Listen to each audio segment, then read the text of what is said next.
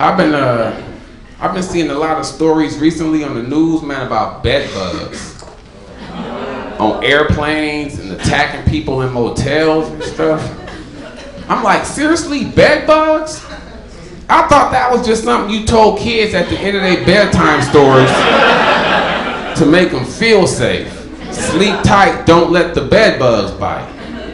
Now you telling me they real?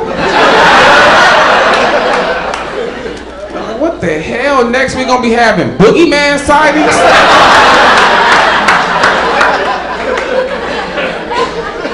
we have breaking news. The boogeyman has just been spotted in Compton, California. He's wearing an Oakland Raiders hat. Last seen in line at Popeye's Chicken. Back to you, Larry.